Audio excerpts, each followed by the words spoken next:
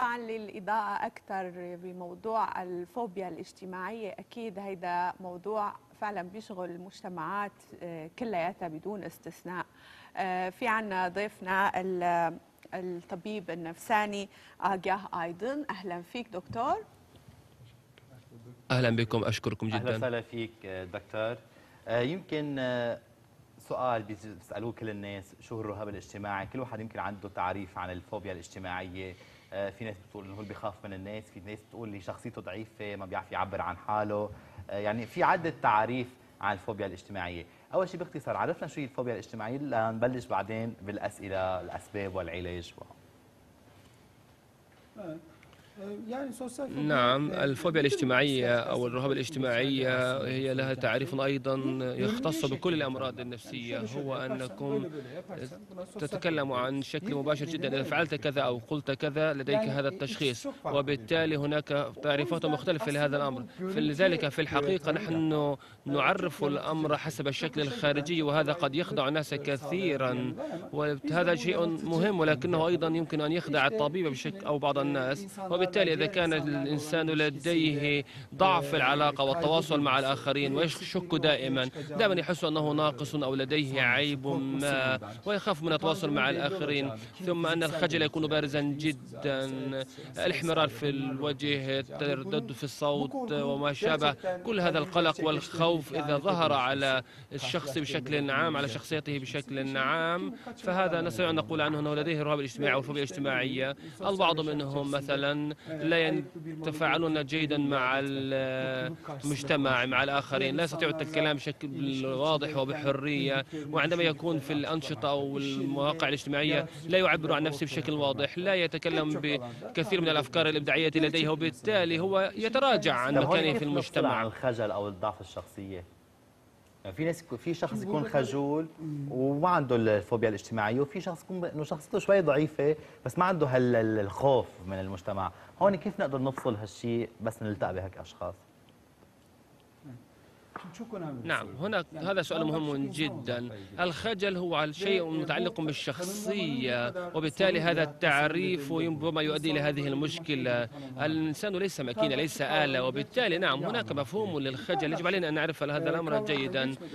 قبل أن أشرح عن الخجل يجب علي أن أقول أن الإنسان ضع... كائن ضعيف. يجب علينا أن نتذكر ذلك دائما. الإنسان لا يكفي كل الأمور وكل النواحي وبالتالي أحيانا كثيرة يدهش أمام منظر معين أمامه ويعتبر نفسه ناقصا أو ضعيفا أو لا يد له أو لا حيلة له في أمر ما وبالتالي يعطوكم وأنتم كطفل الحليب يضعونه جانبكم ولكن لا تستطيعون أن تشربوه بالتالي أنتم ضعيفون حتى سنوات معينة.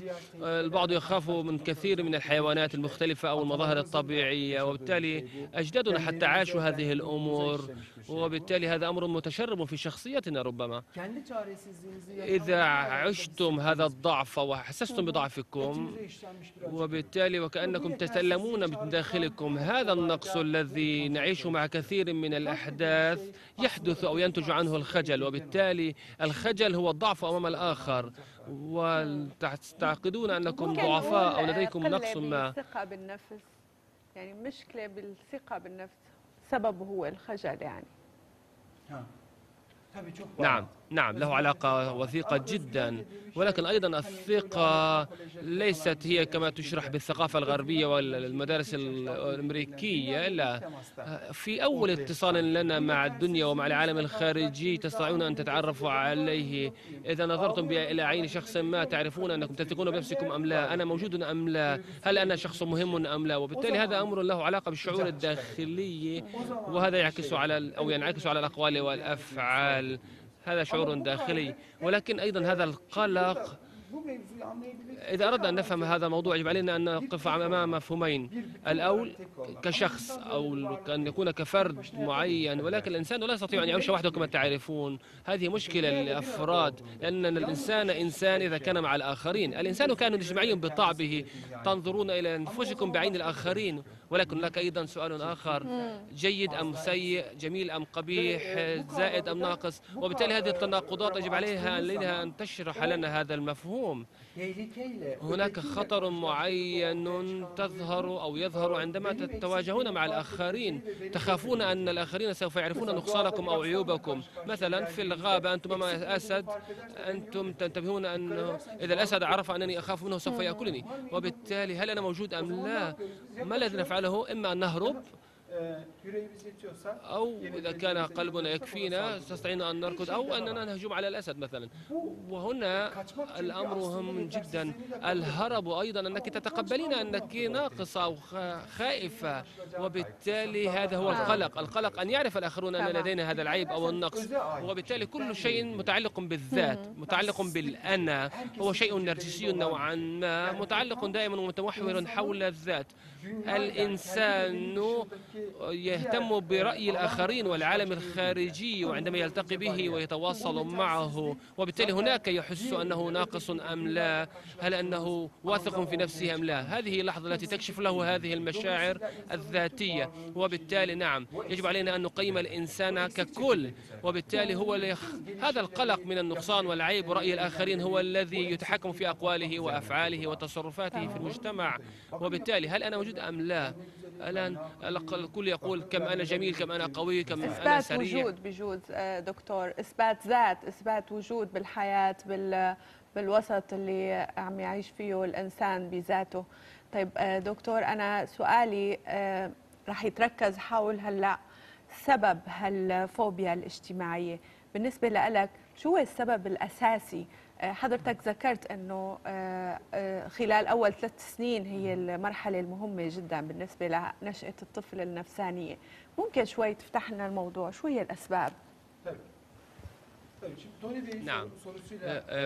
متعلق الأمر بسؤال السيد توني الخجل شيء أساسي في هذا الأمر. نحن نكون موجودين عبر هذا الشعور بالخجل وبرأي الآخرين واهتمام برأي الآخرين. هذا أمر مهم جدا.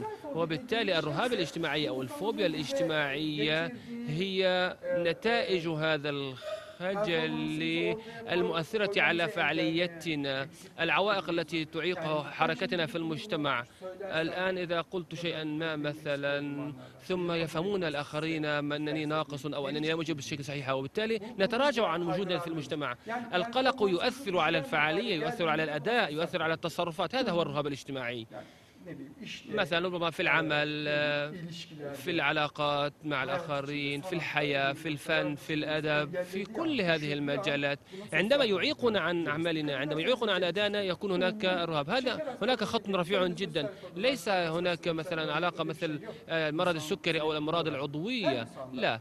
كل إنسان معرض لهذا الأمر لأنه عندما ترتفع درجة الخطورة أو ال risk عند أي إنسان يكون لديه نفس التصرف. ولكن هناك أمر نحن نشكل نفسنا ونكيف أنفسنا معه منذ قبل وبالتالي هذا أمر طبيعي جدا.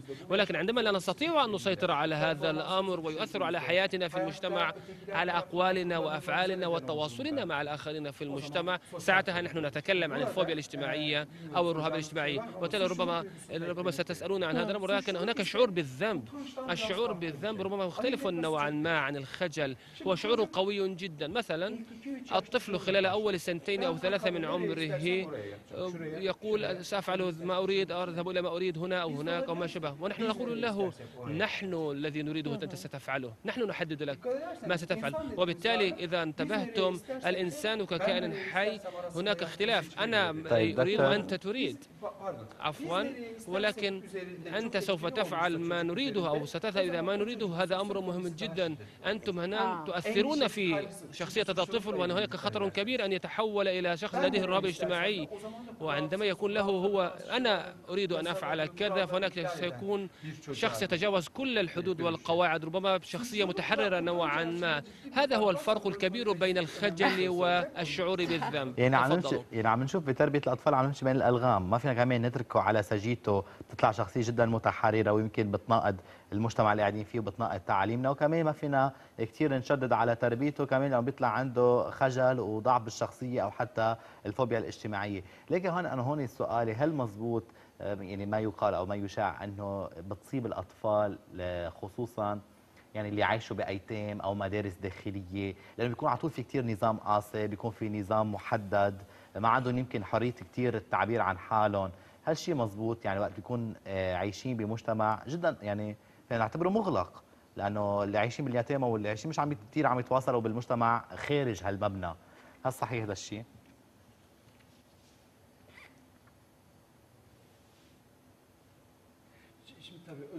نعم. هنا يجب علينا أن نتكلم عندما نتكلم عن مجموعات خاصة الأمر ربما فيه بعض الإشكاليات ولكن أستطيع أن أجيب عن سؤالكم.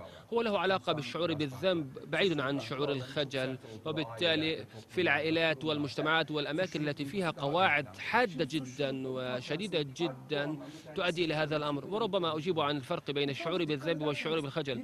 الخجل كما تعرفون أنني أنا موجود وهناك أيضا هناك أنا الذي في داخل الحدث هناك مثاليات كيف سيفكرون بي؟ إذا كنت كذلك هؤلاء لن يفعلوا بي أبدا أي شيء. وبالتالي أنا أستطيع أن أتكلم عن وجودي. وبالتالي هذا الأنا والأنا المثالية هناك فرق بين الأمرين. هذا الفرق إذا كان كبيرا جدا نشعر بالخجل لأنه سوف يظهر عيبنا. إذا انتبهتم هنا هناك المحكمة داخل الإنسان بذاته هي صعبة جدا وحادة جدا. يجب علي أن أكون كذا. وبالتالي هذا طبعا يستهدف الكمال والكمال صعب على الإنسان. نريد عادة إذا ظهر عيبنا أن لا أكون في هذا المكان أن أختفي. وبالتالي أشعر بالذنب صعب جدا. الشعور بالذنب افعل كذا فإذا فعلت كذا سوف إذا رميت هذا الشيء مثلا كسر سوف تعاقب. وبالتالي هناك جمل بهذا النوع أو قواعد. إذا فعلت كذا سوف تحبس مثلا في السجن لسنتين أو ثلاثة. وبالتالي عند أنا سأفعل شيء يخجل ولكن لا أشعر بالخجل ولكن عندما أشعر أقوم بشيء مثلا جنحة أو جريمة صحيح. أشعر بالذنب. مثلا هناك في في السير السيارات مثلا عندما أتخطى الإشارة الحمراء هذا أمر سوف يعاقب عليه. وبالتالي أنا أثبت نفسي هناك وكأني تخطيت أمرا ما وأعترف بهذا الأمر ولكن الخجل يؤدي بي إلى الاختباء والهرب من الموقف أو من الحدث. كل شيء متعلق بأنا متعلق بي وبروحي وبداخلي. الشعور بالذنب يأتي من الخارج. الناس يقولون يلومونك ما كيف أنت تفعلت كذا أو لماذا قلت كذا؟ أي نوع من الناس أنت؟ الوجدان الضمير أخلاق الأمور المثالية والقيم العليا كلها لها علاقة. هيدا جواب حلو. وبالتالي أما الشيء التي يأتي من الغرائز الغرائز أو من داخل الإنسان وبالتالي الاجو هو الذي يجعل التوازن بين الأمرين. وبالتالي الغرائز والقيم والوجدان هذه التوازنات أنا والعالم الخارجي أو أنا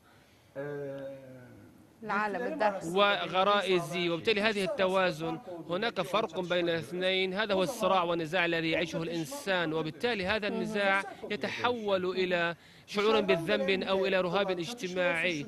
أما النزاع مع الآخرين يأتي إلى الخجل. أما النزاع مع غرائزنا تأتي إلى الشعور بالذنب. هذا أصعب من الخجل. الخجل ربما شيء خارج الوجدان. ولكن الآن أتحمس أو أخاف. مثلا السيد توني إنسان جيد جدا أحببته وأسعد بالجلوس معه. لماذا أنا أجري أرجف أو أهتز أمامه؟ الإنسان من, من ذاته من داخله.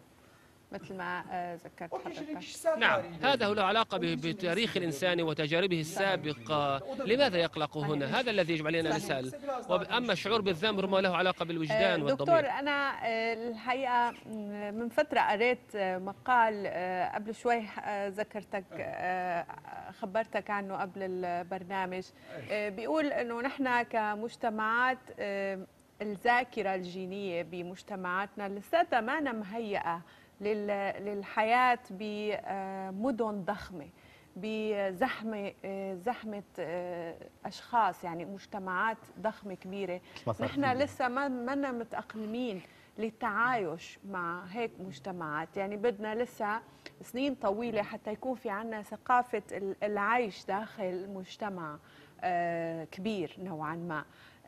لهل سبب هذا هيدي الفوبيا الاجتماعية عم تظهر بكثرة. آه، لأنه المدن عم تكبر آه،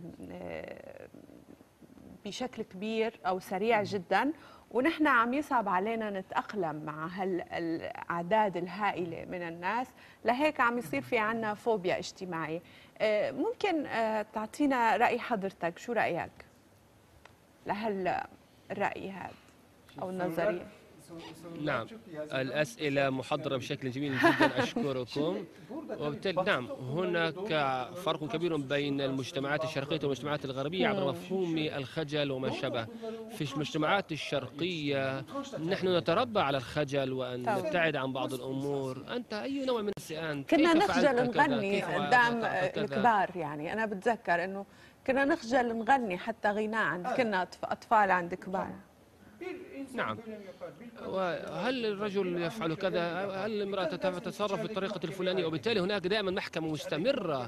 وبالتالي أن تحاكم داخليا هذا أمر صعب جدا. المحكمة الخارجية سهلة جدا إذا. أذنبت أو لم تذنب. ولكن في الغرب هناك شعور بالذنب أكثر. وربما هناك عامل للدين أيضا في هذا الأمر مثلا في المجتمعات الإسلامية. لا نستطيع أن نربطها مباشرة بالشعور بالخجل ولكن أثناء طريقة التربية في الغرب هناك تذهبون إلى القسيس. وتعترفون وبالتالي الكل مش يشعر بالذنب نوعا ما في بعض الحوادث. في الثقافة الإسلامية الكل يخ... ي... ي... يولد كملك ويربى على هذا الأمر وبالتالي كل ذنب أو كل خطأ عائد إليكم. أنت الذي فعلت كذا. في المجتمعات الغربية أنت أساسا مذنب ولكن تحاول أن تنظف نفسك من هذا الذنب أو تتخلى عنه. وبالتالي الاعتراف هو الذي يقرب. أما الشعور بالخجل يبعد عن الناس عن الأقوال عن التصرفات في المجتمع. وبالتالي إذا فهموني بهذه الطريقة يجب علي أن لا أتكلم. يجب علي أن لا أدخل في الزحام أو في المجتمعات الكثيرة أو عدد الناس الكثير. وبالتالي هذا هو هذه الثنائية التي نتكلم عنها اليوم الشعور بالخجل والشعور بالذنب. الخجل يؤدي بنا إلى الاختباء والبعد والهرب. ممكن للكذب. عندما نحس بنقص أو بعيب ما نقول الآخرون كيف سيفكرون بهذا الأمر؟ وبالتالي نبتعد عن الناس. ربما إذا فعلتم مثلا شيئا متغيرا أو مختلفا. مثلا أنتم غيرتم الاستوديو. مثلا ربما لن يعجب الآخرين. وبالتالي يجب عليكم أن لا تسمحوا بهذا الأمر. الخجل يؤدي بكم إلى عد يقضي على الإبداع وعلى التغيرات و- و- ويقضي على خروج الجمال منكم ولكن الشعور بالذنب له علاقة بالمحكمة والحقوق والعدالة وبالتالي هذا له علاقة بالمجتمعات التي فيها سيادة القانون أكثر ربما أما الثقافات والتربيات والأدب التي لها علاقة. بالخجل تؤدي إلى الوحدة. وصلت الفكرة بعتقد ع- يمكن على السبب الخجل هيك لكن أنه وقتنا ضيق بعد في خمس دقائق للفقرة وعندي سؤالين سريعين هل الرهاب الاجتماعي أو الفوبيا الاجتماعية بتصيب الكبار أو فقط من الصغار بتبلش وثاني سؤال شو العلاج باختصار لأنه بعد معنا خمس دقائق وبدنا نعرف العلاج مش بس الأسباب haklısınız. نعم أنتم Ya محقون şimdi mesela جدا بالتأكيد. أنا لا أعرف مثلا ماضيكم وتجربتكم ولا غالبا آه، أن تمام. تكون لكم تربية نوعا ما غربية لأنكم مهتمون توني بالوقت. والتوقيت والنظام والتحديد ليس له علاقة بالفلسفة كثيرا ولكن الغربيون دائما أكثر دقة وبالتالي يتحركون دائما عبر الشعور بالذنب لا نريد أن نتأخر لا نريد أن نجعل شيئا ناقصا أو خطأ وبالتالي هذه هي المجتمعات الغربية ولكن المجتمعات العربية ربما والشرقية لا لديها هذا الهروب والخجل والاختباء والتراجع الآن العلاج. لدينا ثلاثة أسباب مهمة أولا إذا كان هناك أشخاص لديهم في نفس العائلة أشخاص يعانون من الرهاب الاجتماعي هذا له علاقة بالجينات طبعا والأمور الوراثية السبب الثاني. له علاقة بالتعليم والتعلم والثقافة الاجتماعية إذا كان في موضع ما أو فيه ضغط نفسي أو ما شابه كيف ستتصرف تحاولون دائما أن تعطوا نفس ردة الفعل. مثلا فكروا في فأر ما أو ما شابه هل يجب أن نهرب أو لا نهرب من أمامه؟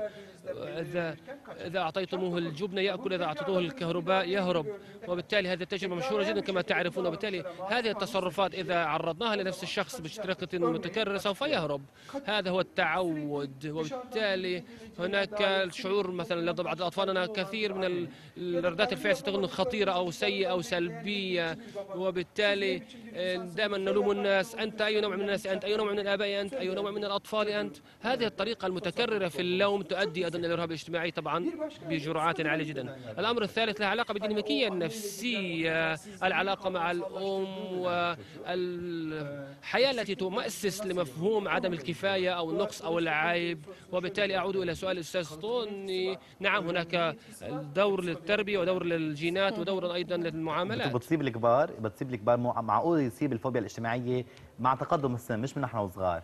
يعني معقول بنشوف كان شخص عادي صار بعدين يخاف نتيجة ظروف معينة. يعني أنا بدي أسمح لي مش رح أقول اسم الفنانه بس معروفه فنانه جدا معروفة بلبنان عندها الفوبيا الاجتماعية لأنه صارت هي الإيديال.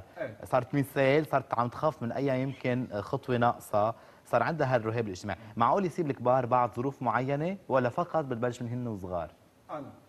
نعم فهمت إذا يجب علينا نتكلم عن الأمور الثلاثة لأنها صعبة نتكلم عن الخجل والحياء وأيضا الرهاب الاجتماعي هذه الأمور الثلاثة صعب التفريق بينها أحيانا كثيرة ربما لا يكون مهما جدا ولكن مثلا نحن أمام الأطباء نخجل نوعا ما ولكن أحيانا نخجل من شيء غير مهم ربما سأقول شيئا يضحكون عليه أو ما شابه وبالتالي لديه مستوى معين إذا كان يعيق آه، طريقة عمل أو كلام أو تصرفات الإنسان في المجتمع أمام الزوج أمام العمل هذا ليس فقط خجلا هذا رهاب اجتماعي أو اضطراب نفسي سلوكي. وبالتالي يجب علينا أن نتكلم عن هذه الأمر. كيف نفرق بين الأمرين؟ أن الاضطراب النفسي سوف يكون دائما إلى طوال حياة الإنسان. لا يعتبر نفسه إنسانا طبيعيا وبالتالي إذا ظهرت إلى على شاشة التلفاز الإنسان الناس يكون لهم ردات فعل مختلفة. أنا لا أريد أن أظهر- على شاشة التلفاز مثلا. لا أريد أن أجلس ابدا في المقهى وما شابه. وليس لديه مشكلة الشخص نفسه العائلة هي التي أو ال- أصدقائهم الذين لديهم مشكلة مع هذا الأمر. أما الرهاب الاجتماعي فمختلف. الرهاب الاجتماعي الشخص يريد أن يكون هناك يريد أن يكون على شاشة التلفاز أو في المقهى يريد أن يشرب الشاي يريد أن يكون في المجتمع ولكنه لا يستطيع أن يفعل. لديه هذا القلق الذي يزيده ولديه بعض ال- الأعراض العضوية حتى. وبالتالي في الرهاب الاجتماعي مثلا نراه في المراهقة في سنين المراهقة أكثر. لماذا؟ لأنه عمر المراهقة لديه كثير من هذا التواصل مع المجتمع طبعا. دكتور تفضل. تفضل خلص يلا. دكتور يمكن عن جد بدنا نحكي عن الموضوع حكينا كثير عن الأسباب كمان كيف فينا نحكي عن طرق المعالجة إذا بالمتابعة النفسية أو حتى بالتربية أو مع الأهل أو بالمدارس يعني في كثير كنا لازم نحكي فيهم بالمواضيع لكن كان وقتنا ضيق. شكرا لحضورك معنا. وشكرا يمكن هيك للإضاءة فعلا هيك العميقة والنظريات العميقة جدا لهالموضوع. شكرا لك. دكتور لوجودك معنا ان شاء الله نرجع نلتقى في موضوع ثاني. اشكركم جدا لانكم اعطيتم هذه الاستضافه الكريمه في برنامجكم مشاهدينا يمكن هلا وصلنا لوقت تقرير كثير مهضوم ويمكن اسماء ما بتحبه كثير أو بتخاف منه عندها يمكن فوبيا اجتماعيه من هالموضوع هو الفيرتيجو المباني والناطحات السحاب وصور المدن هيك عن المرتفعات يعني خلينا نقول التطور المدن اللي كنت عم تحكي عنه من شوي. لسيد طبعا للإضاءة أكثر بموضوع الفوبيا الاجتماعية أكيد هيدا موضوع فعلا بيشغل المجتمعات آه، كلياتها بدون استثناء. آه، في عنا ضيفنا ال- الطبيب النفساني آجاه أيضا أهلا فيك دكتور. أهلا بكم أشكركم أهلا جدا. وسهلا فيك آه، دكتور. يمكن سؤال بيسألوه كل الناس شو الرهاب الاجتماعي؟ كل واحد يمكن عنده تعريف عن الفوبيا الاجتماعية. آه، في ناس بتقول إنه هو بيخاف من الناس في ناس بتقول لي شخصيته ضعيفة ما بيعرف يعبر عن حاله. آه، يعني في عدة تعريف عن الفوبيا الاجتماعية. أول شيء باختصار عرفنا شو هي الفوبيا الاجتماعية؟ لنبلش بعدين بالأسئلة الأسباب والعلاج. Evet. Sosyal fobi- نعم Ee, الفوبيا الاجتماعية أو الرهاب الاجتماعي هي لها تعريف أيضا يختص بكل الأمراض النفسية. هو أنكم تتكلم عن شكل مباشر جدا. إذا فعلت كذا أو قلت كذا لديك هذا التشخيص. وبالتالي هناك تعريفات مختلفة لهذا الأمر. فلذلك في الحقيقة نحن نعرف الأمر حسب الشكل الخارجي وهذا قد يخدع الناس كثيرا. وهذا شيء مهم ولكنه أيضا يمكن أن يخدع الطبيب بشكل أو بعض الناس. وبالتالي إذا كان الإنسان لديه ضعف في العلاقة والتواصل مع الآخرين ويشك دائما دائما يحس أنه ناقص أو لديه عيب ما ويخاف من التواصل مع الآخرين. ثم أن الخجل يكون بارزا جدا. الاحمرار في الوجه التردد في الصوت وما شابه. كل هذا القلق والخوف إذا ظهر على الشخص بشكل عام على شخصيته بشكل عام فهذا نستطيع أن نقول عنه أنه لديه الرهاب الاجتماعي أو الفوبيا الاجتماعية البعض منهم مثلا لا يتفاعلون جيدا مع المجتمع مع الآخرين. لا يستطيعوا الكلام بشكل واضح وبحرية. وعندما يكون في الأنشطة أو المواقع الاجتماعية لا يعبر عن نفسه بشكل واضح لا يتكلم بكثير من الأفكار الإبداعية لديه وبالتالي هو يتراجع عن مكانه في المجتمع. الخجل أو الضعف الشخصية؟ في ناس في شخص يكون خجول وما عنده الفوبيا الاجتماعية وفي شخص يكون إنه شخصيته شوي ضعيفة بس ما عنده هالخوف من المجتمع. هون كيف نقدر نفصل هالشيء بس نلتقى بهيك أشخاص؟ نعم هناك هذا سؤال مهم جدا. الخجل هو شيء متعلق بالشخصية وبالتالي هذا التعريف ربما يؤدي إلى هذه المشكلة. الإنسان ليس ماكينة ليس آلة. وبالتالي نعم هناك مفهوم للخجل. يجب علينا أن نعرف هذا الأمر جيدا. قبل أن أشرح عن الخجل يجب علي أن أقول أن الإنسان كائن ضعيف. يجب علينا أن نتذكر ذلك دائما. الإنسان لا يكفي كل الأمور وكل النواحي وبالتالي أحيانا كثيرة يدهش أمام منظر معين أمامه ويعتبر نفسه ناقصا أو ضعيفا أو لا يد له أو لا حيلة له في أمر ما. وبالتالي يعطوكم وأنتم كطفل الحليب يضعونه جانبكم ولكن لا تستطيعون أن تشربوه. وبالتالي أنتم ضعيفون حتى سنوات معينة. البعض يخاف من كثير من الحيوانات المختلفة أو المظاهر الطبيعية وبالتالي أجدادنا حتى عاشوا هذه الأمور. وبالتالي هذا أمر متشرب في شخصيتنا ربما. إذا عشتم هذا الضعف وحسستم بضعفكم وبالتالي وكأنكم تتألمون من داخلكم هذا النقص الذي نعيش مع كثير من الأحداث يحدث أو ينتج عنه الخجل وبالتالي الخجل هو الضعف أمام الآخر. وتعتقدون أنكم ضعفاء أو لديكم نقص ما؟ بالثقة بالنفس. يعني مشكلة بالثقة بالنفس. سببه هو الخجل يعني. نعم نعم. له علاقة وثيقة جدا ولكن أيضا الثقة ليست هي كما تشرح بالثقافة الغربية والمدارس الأمريكية لا. في أول اتصال لنا مع الدنيا ومع العالم الخارجي تستطيعون أن تتعرفوا عليه؟ إذا نظرتم إلى عين شخص ما تعرفون أنكم تثقون بنفسكم أم لا؟ أنا موجود أم لا؟ هل أنا شخص مهم أم لا؟ وبالتالي هذا أمر له علاقة بالشعور الداخلي وهذا يعكس على أو ينعكس على الأقوال والأفعال. هذا شعور داخلي. ولكن أيضا هذا القلق.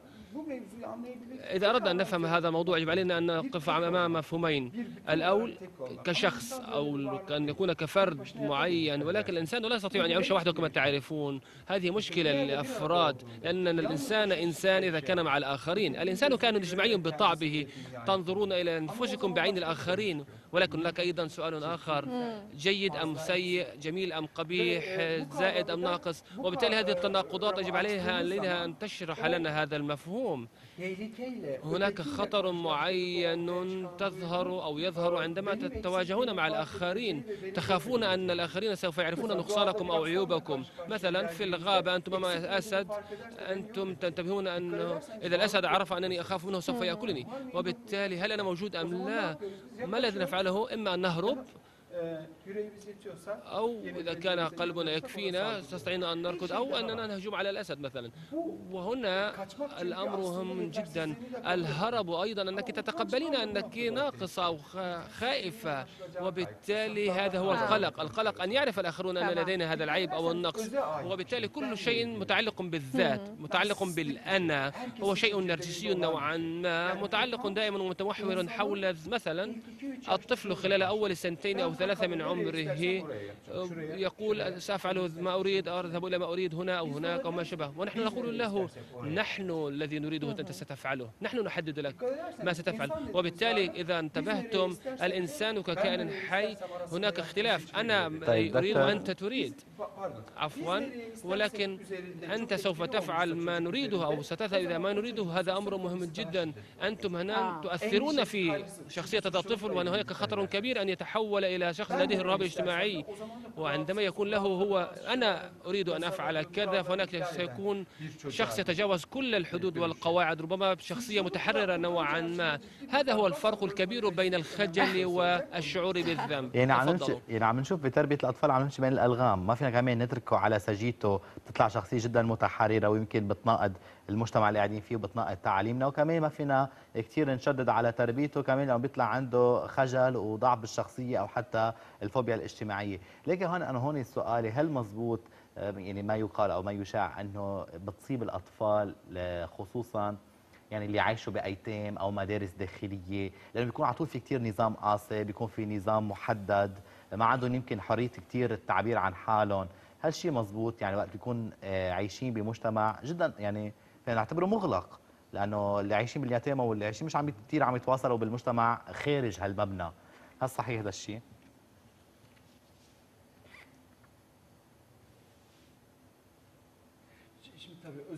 نعم. هنا يجب علينا أن نتكلم عندما نتكلم عن مجموعات خاصة الأمر ربما فيه بعض الإشكاليات ولكن أستطيع أن أجيب عن سؤالكم. هو له علاقة بالشعور بالذنب بعيد عن شعور الخجل وبالتالي في العائلات والمجتمعات والأماكن التي فيها قواعد حادة جدا وشديدة جدا تؤدي إلى هذا الأمر. وربما أجيب عن الفرق بين الشعور بالذنب والشعور بالخجل. الخجل كما تعرفون أنني أنا موجود وهناك أيضا هناك أنا الذي في داخل الحدث هناك مثاليات كيف سيفكرون بي إذا كنت كذلك هؤلاء لن يفعلوا بي أبدا أي شيء. وبالتالي أنا أستطيع أن أتكلم عن وجودي. وبالتالي هذا الأنا والأنا المثالية هناك فرق بين الأمرين. هذا الفرق إذا كان كبيرا جدا نشعر بالخجل لأنه سوف يظهر عيبنا. إذا انتبهتم هنا هناك المحكمة داخل الإنسان بذاته هي صعبة جدا وحادة جدا. يجب علي أن أكون كذا. وبالتالي هذا طبعا يستهدف الكمال والكمال صعب على الإنسان. نريد عادة إذا ظهر عيبنا أن لا أكون في هذا المكان أن أختفي. وبالتالي أشعر بالذنب صعب جدا. الشعور بالذنب ذات. الإنسان يهتم برأي الآخرين والعالم الخارجي وعندما يلتقي به ويتواصل معه. وبالتالي هناك يحس أنه ناقص أم لا؟ هل أنه واثق في نفسه؟ أم لا؟ هذه اللحظة التي تكشف له هذه المشاعر الذاتية. وبالتالي نعم يجب علينا أن نقيم الإنسان ككل. وبالتالي هو ليخ... هذا القلق من النقصان والعيب. ورأي الآخرين هو الذي يتحكم في أقواله وأفعاله وتصرفاته في المجتمع. وبالتالي هل أنا موجود أم لا؟ الآن الكل يقول كم أنا جميل كم أنا قوي كم أنا سريع. إثبات وجود بجوز آه، دكتور. إثبات ذات إثبات وجود بالحياة بال بالوسط اللي عم يعيش فيه الإنسان بذاته.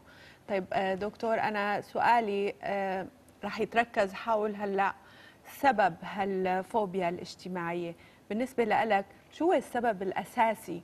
آه، حضرتك ذكرت أنه خلال أول ثلاث سنين هي المرحلة المهمة جدا بالنسبة لنشأة الطفل النفسانية. ممكن شوي تفتح لنا الموضوع شو هي الأسباب؟ نعم. آه، آه، متعلق الأمر بسؤال السيد توني. الخجل شيء أساسي في هذا الأمر. نحن نكون موجودين عبر هذا الشعور بالخجل وبرأي الآخرين واهتمام برأي الآخرين. هذا أمر مهم جدا. وبالتالي الرهاب الاجتماعي أو الفوبيا الاجتماعية هي نتائج هذا الخجل خجل المؤثرة على فعاليتنا العوائق التي تعيق حركتنا في المجتمع. الآن إذا قلت شيئا ما مثلا ثم يفهمون الآخرين أنني ناقص أو أنني لا أجيب بشكل صحيح وبالتالي نتراجع عن وجودنا في المجتمع. القلق يؤثر على الفعالية يؤثر على الأداء يؤثر على التصرفات. هذا هو الرهاب الاجتماعي. مثلا ربما في العمل في العلاقات مع الآخرين في الحياة في الفن في الأدب في كل هذه المجالات. عندما يعيقنا عن أعمالنا عندما يعيقنا عن أدائنا يكون هناك رهاب هذا هناك خط رفيع جدا. ليس هناك مثلا علاقة مثل آه، مرض السكري أو الأمراض العضوية. لا. كل إنسان معرض لهذا الأمر لأنه عندما ترتفع درجة الخطورة أو ال risk عند أي إنسان يكون لديه نفس التصرف. ولكن هناك أمر نحن نشكل نفسنا ونكيف أنفسنا معه منذ قبل وبالتالي هذا أمر طبيعي جدا. ولكن عندما لا نستطيع أن نسيطر على هذا الأمر ويؤثر على حياتنا في المجتمع على أقوالنا وأفعالنا وتواصلنا مع الآخرين في المجتمع ساعتها نحن نتكلم عن الفوبيا الاجتماعية أو الرهاب الاجتماعي. وبالتالي ربما ربما ستسألون عن هذا الأمر ولكن هناك شعور بالذنب. الشعور بالذنب ربما مختلف نوعا ما عن الخجل. هو شعور قوي جدا. افعل كذا فإذا فعلت كذا سوف إذا رميت هذا الشيء مثلا كسر سوف تعاقب. وبالتالي هناك جمل بهذا النوع أو قواعد. إذا فعلت كذا سوف تحبس مثلا في السجن لسنتين أو ثلاثة. وبالتالي عند أناس أفعل شيء يخجل ولكن لا أشعر بالخجل. ولكن عندما أشعر أقوم بشيء مثلا جنحة أو جريمة صحيح. أشعر بالذنب. مثلا هناك في في السير السيارات مثلا عندما أتخطى الإشارة الحمراء هذا أمر سوف يعاقب عليه. وبالتالي أنا أثبت نفسي هناك وكأني تخطيت أمرا ما وأعترف بهذا الأمر ولكن الخجل يؤدي بي إلى الاختباء والهرب من الموقف أو من الحدث. كل شيء متعلق بأنا متعلق بي وبروحي وبداخلي. ما الشعور بالذنب يأتي من الخارج. الناس يقولون يلومونك ما كيف أنت تفعلت كذا؟ أو لماذا قلت كذا؟ أي نوع من الناس أنت؟ الوجدان الضمير أخلاق الأمور المثالية والقيم العليا كلها لها. علاقة هيدا جواب حلو وبالتالي أما الشيء التي يأتي من الغرائز الغرائز أو من داخل الإنسان وبالتالي الأجو هو الذي يجعل التوازن بين الأمرين وبالتالي الغرائز وال- والقيم والوجدان هذه التوازنات أنا والعالم الخارجي أو أنا العالم الداخلي. وغرائزي وبالتالي هذه التوازن هناك فرق بين الاثنين هذا هو الصراع والنزاع الذي يعيشه الإنسان وبالتالي هذا النزاع يتحول إلى شعور بالذنب أو إلى رهاب اجتماعي. أما النزاع مع الآخرين يأتي إلى الخجل. أما النزاع مع غرائزنا تأتي إلى الشعور بالذنب. هذا أصعب من الخجل. الخجل ربما شيء خارج الوجدان. ولكن الآن أتحمس أو أخاف. مثلا السيد توني إنسان جيد جدا أحببته وأسعد بالجلوس معه. لماذا أنا أجري أرجف أو أهتز أمامه؟ الانسان من من ذاته من داخله. مثل ما آه، ذكرت حضرتك. نعم هذا له علاقة ب- بتاريخ الإنسان وتجاربه السابقة. لماذا يقلق هنا؟ هذا الذي يجب علينا نسأل أما الشعور بالذنب ربما له علاقة بالوجدان آه، دكتور والضمير أنا آه، الحقيقة من فترة قريت مقال قبل شوي ذكرتك خبرتك عنه قبل البرنامج. بيقول أنه نحن كمجتمعات الذاكرة الجينية بمجتمعاتنا لساتها ما مهيئة لل- للحياة بمدن ضخمة بزحمة آه، زحمة آه، أشخاص يعني مجتمعات ضخمة كبيرة. ما صار نحن. لسه ما منا متأقلمين للتعايش مع هيك مجتمعات. يعني بدنا لسه سنين طويلة حتى يكون في عنا ثقافة ال- العيش داخل المجتمع.